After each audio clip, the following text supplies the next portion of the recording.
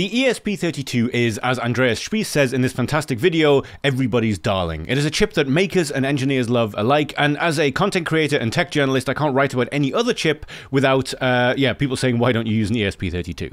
Now, uh, Andreas has just released a fantastic video saying, what do we do now? The ESP32 will eventually run out of uh, production, and what chip shall replace it? Spoiler alert, it's another ESP32. But yes, you're going to have to head to the link in our bio or go to Andreas' channel to find out why. Um, if you're not a fan of Andreas Spiess or already. He is uh, one of the most in-depth sort of Arduino-based YouTubers, although he does a lot more than just Arduino. Also, if you're interested in software-defined radio and all that kind of stuff, he has a second channel covering that kind of stuff too. Um, we will be uh, linking out to uh, both this channel and his other channel from our link tree. And uh, yeah, this is just, I've been a massive fan of Andreas for years. If you're not already watching his stuff and you are a maker, he covers the more technical side of stuff um, and does it in a way that is very easy to understand. I personally have learned a lot from Andreas and I think that you will too.